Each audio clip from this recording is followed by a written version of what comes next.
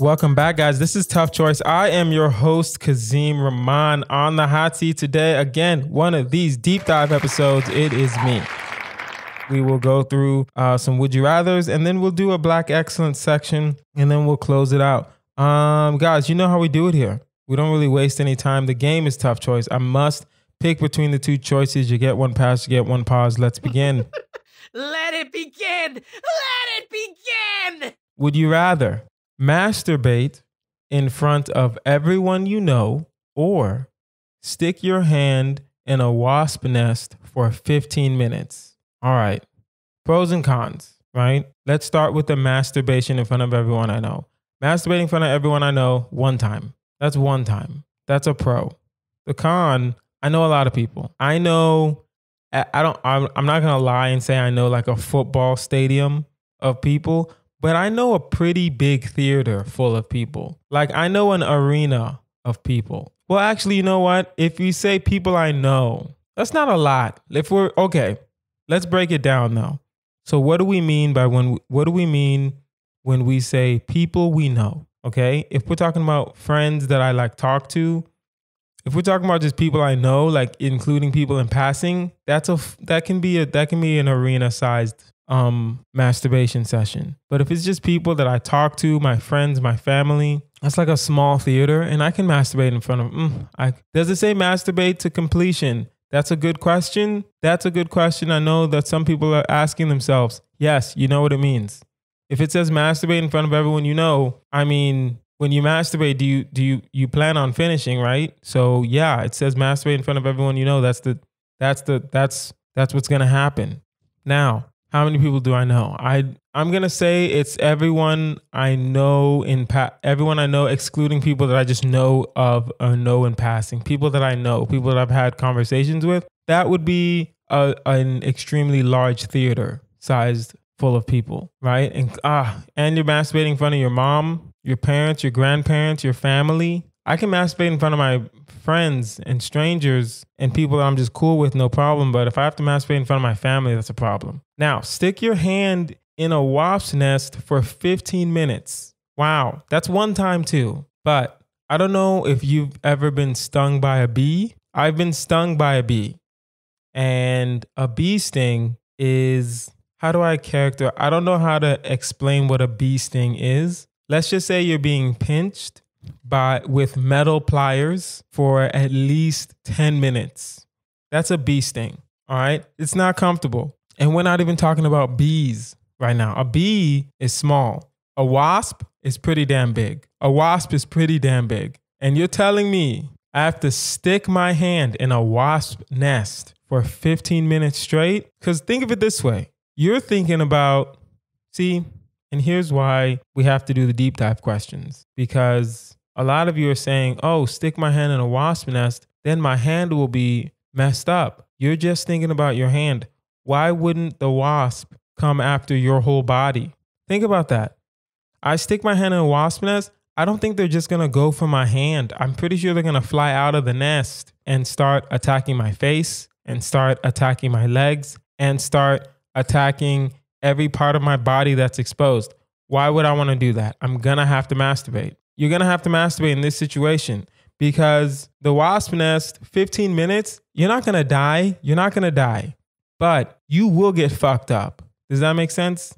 You will get fucked up, not beyond recognition, but man, your face is gonna be messed up for a while. Or, or, and just hear me out, okay? You can just whip your dick out in front of everyone you know and just masturbate.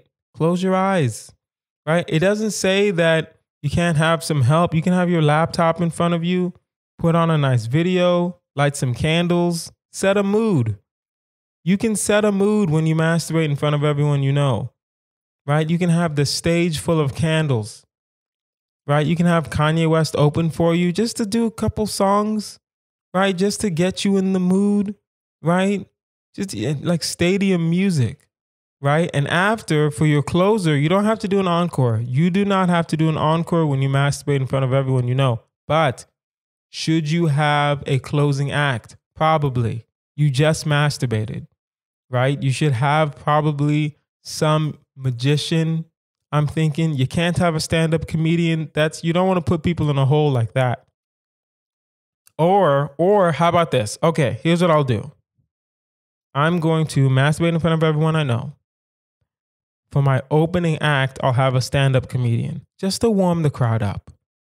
You know, you want to get them loose, right? And then what I'm he's going to do or she, I'm equal opportunity here. He or she is going to do 15 minutes of comedy up top, right? And then what I'll do, and here's what people don't understand you got to get a poet. You get a poet to say some romantic things to get people really in the mood for this masturbation. And then I come out, I masturbate, candles everywhere. And we're gonna leave the candles on because at the end of my masturbation, a solo performance from one, the only Kanye West. Just saying.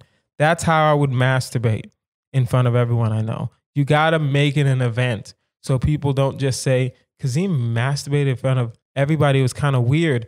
And then people will go out and say, yo, if you haven't seen the Kazeem masturbation show, what are you doing with your life? That's what I want to do. Would you rather reply to every question? Reply, God dang it, I can't read. Reply to questions using only Bible scriptures or be Amish and on the FBI's most wanted list.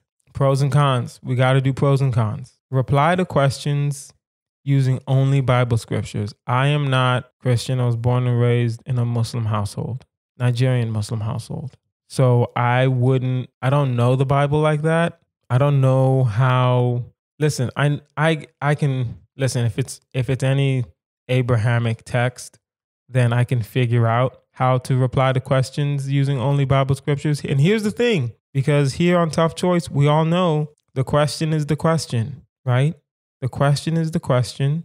And reply to questions using only Bible scriptures does not mean you can't have a conversation. But whenever someone asks you a question, you have to reply using a Bible scripture. So in the first year and a half, I'll have to have a Bible on me at all times. I'll have to have a Bible in my car. I'll have to have a Bible at work. I'll have to have a Bible app on my phone right? If I'm gonna reply to these questions using Bible scriptures, I'd have to I I'd have to figure it out. But how do I answer every question using Bible scripture? I don't know. I would have to I would have to do a lot of research beforehand and just anticipate questions. Right? Now, be Amish and on the FBI's most wanted list. Mm, honestly, those could have been two separate situations you can say be Amish as one situation, and then you can say be on the FBI's most wanted list as one situation. But now you have to be Amish and be on the FBI's most wanted list. Here's the thing in all fairness, if you're Amish and you're on the FBI's most wanted list, it's very it's unlikely that they'll find you unless they know you're Amish. I'm assuming cuz I'm not Amish now. I'm assuming I'd be on the FBI's most wanted list and then I would become Amish and then I would just live with Amish people. For those of you who don't understand what it means to live as if you're Amish, you there is no technology. There is no just yeah, actually, that's it. There's no technology. Think of it that way. There's no cell phone, there's no internet, there's no cars. It's horse and buggy. Horse and buggy at the same time. Man, they make their own butter and I've had Amish butter. Yo, Stay Amish. Let's just put it that way. If you're Amish and you're listening to this, you probably shouldn't be listening to this, but you're probably doing that little teenage thing where they let you wild out for like a year and then you have to decide whether or not you're going to be Amish or be excommunicated. If you're listening to this, be Amish or go get me that butter, send it to me, email me for my address, toughchoice at outlook.com. That's toughchoice at outlook.com. Just say Amish butter and I'll know exactly what you're talking about in the subject line if I'm on the FBI most wanted list and I'm Amish, I'm I can probably be perfectly fine. I'll be perfectly fine. But I wouldn't live the life that I want to live. Even if I was Amish. Honestly, if I was on the FBI most wanted list, I could still live my life. I'm not even gonna lie. I'm not even gonna lie. I think about it. Everyone thinks about it. Everyone thinks about if they're on the FBI's most wanted list, what are you gonna do? Because I have an idea of what I want to do, but I don't really like know, no, but I have an idea of what I want to do. Man, this is hard. I'm going to do the Bible scriptures because if I'm Amish, I'm not going to be able to live the life that I want to live. And that's why. That's the only that's the only reason. And honestly, it has absolutely nothing to do with the FBI's most wanted list. I just don't want to be Amish. Would you rather have hairy gums or only be able to blow your nose using a stranger's used tissue? That is disgusting. At the same time, hairy gums is very disgusting also. Pros and cons. Hear me out. If I have hairy gums, it's not that bad. It's bad, but it's not that bad. I'm assuming, well, it depends because I'm not a hairy person, right? I have very thin body hair. I have hair on my face, hair on my head, but the hair on my body is extremely thin. Like it looks like I shave my legs from afar, but I really don't. I just have really thin hair. Okay. So if it's just the hair on my arm, then I'm fine with having the hairy gums. But knowing me, knowing how I write this question, it's probably going to be hair hair. Like, I would say maybe like pubic hair, but ugh, I don't know. But I think if I had hairy gums, I would get used to it eventually. You know, it would suck for the first month, month and a half. I would figure out what I should be eating, how I should be eating, how I need to really condition my gums hair. And then, you know, I would figure it out. But I think I'd get used to it eventually. Okay. Only be able to blow your nose using a stranger's used tissue. That, listen, I won't die if I use a stranger's used tissue. Let's be honest. I won't die. You might get sick, but I won't die. At the same time, I'm gonna wanna run into traffic. I'm gonna wanna like die, die. You know what I mean? Because if I have to go find a stranger and get a used tissue every time I have to blow my nose, one, I'm not gonna lie, I don't get sick like that. I eat pretty healthy. I exercise every day. I take lots of vitamins. But man, when I get sick, I need to blow that nose. And if I have to go find a stranger and, and use their used tissue, I don't think I could live that life. Even even though I only get sick possibly let's say I only get sick like twice a year. 365 days, I get sick 10 of those days. Really? Really? I get sick 10 of those days. 365. I get sick 10 of those days. But if for 10 days out of the year I can only blow my nose using a stranger's used tissue, it might as well be 365. It might as well be 365. I'm gonna have to do these hairy gums. I have to. You got to do the hairy gums only because listen, someone will love you. I understand what you what you're probably thinking. Who the hell is going to be with me if I have hairy gums? At the same time, there are lots of women out there that like a guy who's unique. You know what I mean? Like they like they like the eh, oh my goodness, he has a like a a lazy eye. It's fine. He's special. He's a nice guy. He has a nice personality. He has money. He has money. He has money. You can't be, you can't have hairy gums and be poor. I'm sorry. You can't. Come on now. You can be shallow or you can be materialistic. That is rule number three. You can't be both. So you got to be materialistic and you got to bring the big bucks. You got to go back to school. You got to get an MBA. You got to get a master's degree. You got to be like an engineer or something. If you're to have hairy gums, you can't be broke. You can't because you have to have something to distract from the hairy gums because it's weird. Would you rather find out both your parents are porn stars or let each of your friends choose a tattoo to put anywhere on you? All right. Okay. This is this is hard, but it's not harder than I thought it would be, if that makes sense. Okay. Pros and cons. Find out both your parents are porn stars. Listen, my parents are in their 60s, they are retired.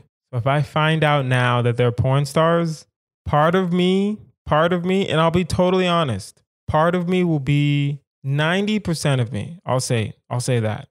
90% of me will be ashamed, will be disgusted, will be confused, will be angry, will be upset. 90% of me. If my parents turn out to be porn stars in their 60s, 10% of me will be like, hey, yo, man, that's what, that's what my family does. That's what the, listen, the Rahman family is, we're innovative, right? We, we, we always chase the bag. And if they're getting money doing porn star stuff, 10% of me is to be like, hey, man, get your bag, man. Let them get the bag. That's fine. Secure the bag at all times. Understandable. But I mean, 90% of me is to be like, yo, you need to stop. If your parents are porn stars, it's not affecting you directly. I just I'll just say that. And if we're being we have to be honest with ourselves. It it'll affect you like um maybe for like 3 months at the most, right? Because here's the thing. No one's going to say your parents are porn stars. No one's going to come up to you and be like, "Yo, your parents are porn stars."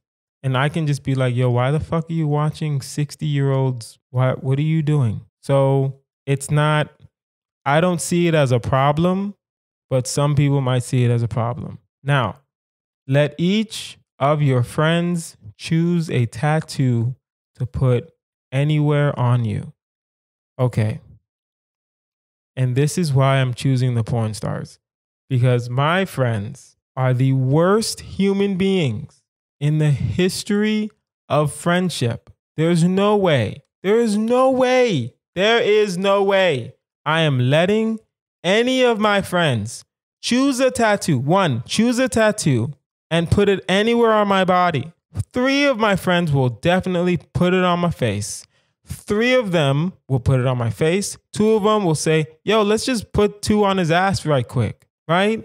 Four of them will be like, yo, your dick needs to get tattooed, bro. And I'm gonna be like, what the fuck is wrong with y'all? Why why are you guys like this? And they're gonna be like, hey man, you read the card, you you chose. It's your game. You chose. I cannot let my friends choose a tattoo to put on me. That's never gonna happen. I don't trust people like that. And you shouldn't trust anyone to do that. You shouldn't trust any. Well, here's the thing. Actually, this is just this goes back to the, a simple question. Are your friends good people? Are your friends good people? If my friends were good people, I would know that, hey, I'm going to choose them and they're to put it on my arm. They're to put it under my arm. They're to put it on like my calf muscle or something like that. Something a little classy, right? Or maybe they'd let me have a sleeve of tattoos. That'd be nice. But are my friends good people? If I ask myself that question, the answer is no. No. No, no, no, no, no, no, no, no, no, no. There's no way. I will let my parents be porn stars. And I'm just not, one, I'm not going to talk about it. Two, it's highly doubtful they're going to use their real names. Porn stars don't use their real names, right? They're in their 60s, so they're not going to be that super famous. If someone sees me with my parents out and about, they're not gonna they're they're gonna maybe second look. They're gonna maybe get like a second look, but they're not gonna they're not gonna say anything. No. I wouldn't say anything. I wouldn't say anything if I found out my friend's dad was a porn star. Would I say something? Of course not. That's insane. That's insane. I would never say anything. Never. Guys, now it is time for black excellence. Excellent. Perfect. I'm going to pose a situation and then I will decide whether or not I think it's going to be billionaire Oprah Winfrey or the 44th president of these United States, Barack Hussein Obama. Who would be the first to die if tonight turned into a horror movie? Listen, I'm just going off of weight. The answer is Oprah. All right. If we're just going off pure weight, the answer is Oprah. Oprah is older than Obama. So, one, she's older. Two, she's just a little heavier. Three, I don't think she exercises like that. Obama at least plays basketball. We've seen him. We've seen him play basketball. At the very least, he plays basketball. He like paddle boards sometimes, right? So if tonight turned into a horror movie, Oprah's gonna die. Who skips down the street when no one is looking? Obama. Oh, happy ass. Obama definitely skips down the street when no one is looking. I don't think Oprah. I don't think Oprah walks in the sense that I'm pretty sure no matter what, or where Oprah needs to go, she gets in a Rolls Royce and goes. Does that make sense? Or she pays someone to carry her. There, I don't. I genuinely don't think Oprah walks unless it's like a red carpet or something like that. You know, I don't. I'm pretty sure it's Obama who's skipping. Who is most easily seduced? Who? I don't know. Who is most easily seduced? I want to say, based on money, I want to say Obama is most easily seduced only because Oprah is a billionaire. And I don't think, I think once you reach a, that level of money, you're not easily seduced by anything, right? You need that kinky stuff to be seduced, right? And Obama's Obama, she he got money. I mean, he gets the presidential pension, of course, but he doesn't have Oprah money. So I'm pretty sure he's out here just getting seduced. You know what I mean? Like I don't, I don't, I I'll get seduced by things Obama will get seduced by because I don't have money like that. But Oprah, you think Oprah will get easily seduced? Nah, um, I don't think, I don't think that. Who will win the lottery but lose the ticket? Man, I know some of you will think um, Obama will win the lottery and lose the ticket, but I don't think Michelle would allow him to do that. I don't think Michelle would allow him to do that. Oprah would win the lottery, lose the ticket, and then just think, oh, it was the manifestation. It was just, you know, if it's not for you, then it's not meant for you. Shut the fuck up, Oprah. You lost the lottery ticket. What are you doing? Obama, there's no way Michelle's gonna let Obama lose a lottery ticket if he if he's playing the lotto. You put it on the fridge, right? And then you wait for the numbers to be called. Who would win in a hot dog eating contest? Okay. Some of you are young and you're going to say, oh, Oprah would win in a hot dog eating contest. All right. Just because she's big. And that's disrespectful. You should be ashamed of yourself. You would be, you would have a point, but that's very disrespectful and you should be ashamed of yourself. So if you do a little research, right? And what I've done is I've actually seen hot dog eating contests in the past because it was a very it was a very big thing in like the 90s. I don't even think they do it anymore. A ridiculous thing in the 90s and the early 2000s were eating contests.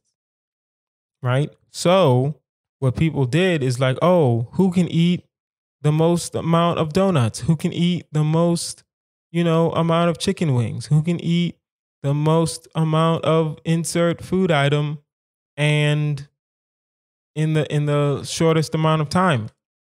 And the most popular of the eating contests was a hot dog eating contest. And the thing about the hot dog eating contest, if you go back in time and look, who wins these contests? who really wins the hot dog eating contest? It is not the fat person. It's never a fat person that wins a hot dog eating contest. It's either a super skinny Asian or a kind of chubby white male. Black people don't do hot dog. Come on now. Come on now.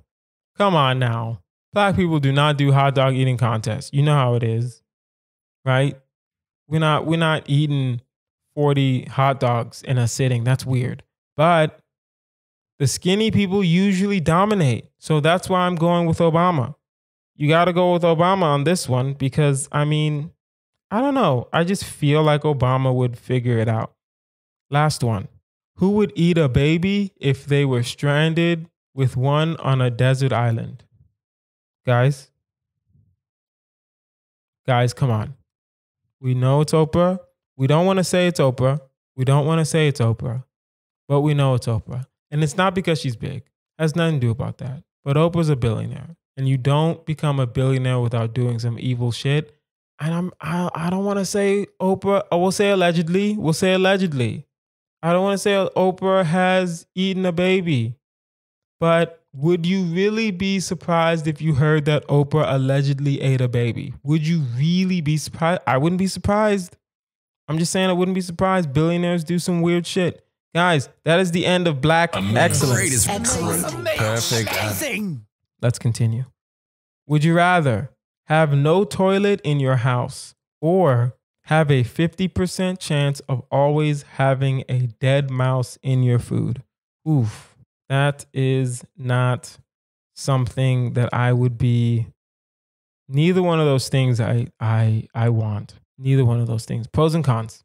Have no toilet in your house. Okay. Okay. That is not good. Also, I work from home, so I need a I would need a toilet. I could possibly go to the 7-Eleven down the street. I could possibly pee in like a bottle, but where am I going to actually like take a dump? You know what I mean? I can't take a dump in like a litter box, right? And also when people come visit, where are they going to pee? You know what I mean? So there are at the same time, I mean, listen. If we're being honest, I could figure out how to have no toilet for me. If it was just me living here, and right now it is just me living here, I can figure out how to have a toilet for me. Yes, that's not hard. I can figure it out. I can pee in the shower. Let's be honest. I can pee in the shower. Right? I don't know what I'm going to shit, but I can pee in the shower. And if I need to shit, I can go I can I can have a deal with my neighbor, one of my neighbors or two of my neighbors like listen, I'll give you such and such amount of money a month and you tell me when I can just take dumps in your apartment. I can figure it out. That's all I'm saying. Now, have a 50% chance of always having a dead mouse in your food. Now, listen to this option carefully. Have a 50% chance of always having a dead mouse in your food. This does not mean out of 10 meals, five meals will have a mouse. Okay? It means for every meal, you flip a coin and it's either mouse or no mouse. And that's very different than a 50% chance of all your meals having a dead mouse. It's a 50% chance of each meal having a dead mouse, which means the, the, the, the probabilities of having a dead mouse are much higher. Much, much, much, much higher, right? And if you're not, let's say, let's say each meal, you flip a coin. If it's heads, you get no mouse. If it's tails, you get mouse. So there'll be some days where, you know, breakfast, mouse, lunch, mouse, no, breakfast, mouse, lunch, no mouse, snack, and dinner, no mouse. There'll be some days. And then there'll be some days where breakfast mouse, lunch mouse, dinner mouse. The next day, breakfast mouse, lunch mouse, dinner mouse. The next day, breakfast mouse, lunch mouse, dinner mouse. I'm thinking I'm going to get a mouse every time. I'm never lucky when I need to flip a coin. I'm never lucky when I need to flip a coin. At the same time, you have a dead mouse in your food. It doesn't mean that you you find the dead mouse before um before it's too late right? You see the dead mouse in your food, it's gonna suck, but you can just throw it away and order new food or make new food. You can just throw it. Doesn't say you have to eat the food. It does not say you have to eat the food. So for that, I will do the mouse. I will do the mouse. Right? And I, I'm assuming I just get I just flip a coin. If it's heads, I'm safe.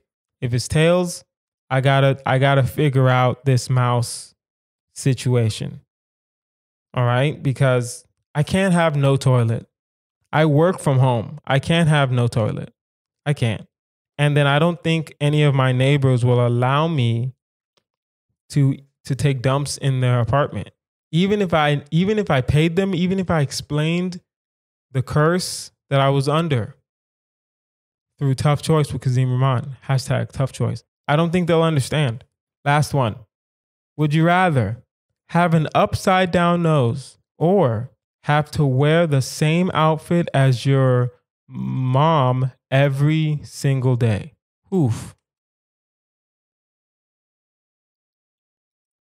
Listen, I can't. My mom is in her 60s, right? So sometimes she and she's ah she's like a girly girl too so she still wears like dresses and stuff i can't i can't i can't we're not even gonna do we're not even gonna do pros and cons for this i'm not wearing well the only pro for for wearing the same outfit as your mom every day is that you don't have an upside down nose and the only pro for wearing the for having the upside down nose is that you don't um have to wear the same clothes as your mom every day the same outfit. Sometimes she's wearing pants, but sometimes she's wearing like these these dresses or like the, she's Nigerian, so she like to wear African clothing as well. And it's like, oh, I don't I don't want to do that. I really don't. I'm gonna do the upside down nose. I'm gonna get I'm gonna carry around an umbrella, right? For when it rains, I'm going to wear a cap at all times, right? Again, someone will love me. Someone will figure it out. Someone will figure out their own, you know, I've someone will someone will figure out that they love me, and at the same time, you you gotta make money if you're gonna have an upside down nose, right? You gotta be shallow in this. You got no, not shallow. You gotta be materialistic in this. You gotta make money. You're gonna have an upside down nose and you're broke. Oof. You can't. You can't. You can't. Anyway, guys, that is our episode. This has been Tough Choice with Kazeem Rahman. I've been Kazeem Rahman. You can find me online at Kazeem Comedy. That's K A Z E E M Comedy. Like, share, subscribe to this podcast. We're growing and we love it. If you have a tough choice question or a Marry Fuck Kill you want us to consider, email toughchoice at outlook.com. That is toughchoice at outlook.com. I've been Kazeem Rahman. You guys have been amazing. Thanks.